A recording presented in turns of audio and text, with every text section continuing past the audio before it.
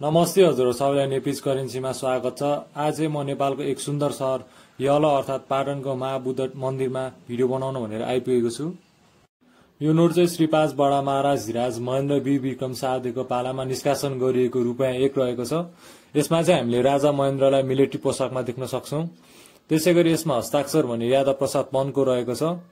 र यसको छपाई भने डेलारी कम्पनी युकेमा गरिएको थियो। र त्यसै गरी यो चाहिँ एक सय एक मिलियन छपाई गरिएको थियो। यो चाहिँ त्यस्तै दुई हजार सत्ताइस सालदेखि चलन चल्तीमा आएको थियो। र यसमा चाहिँ हामीले प्रिफिक्स अ एकदेखि प्रिफिक्स अ सयसम्म देख्न सक्छौँ।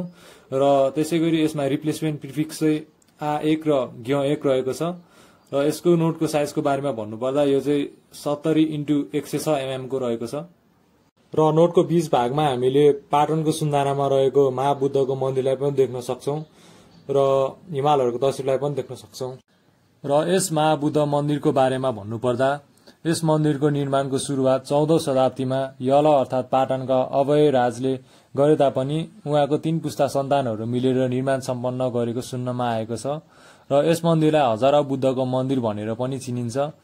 किनभने यस मन्दिरमा प्रयोग भएको सबै इँटाहरूमा बुद्धको तस्विर खोपिएको छ। नोटको पछाडिपट्टिको भागमा हामीले रोटेपिङको तस्विरलाई पनि देख्न सक्छौँ। त्यसै गरी यो नोट हेर्दा निकै नै राम्रो रहेको छ र डिजाइन वाइज पनि उत्तिकै राम्रो रहेको छ।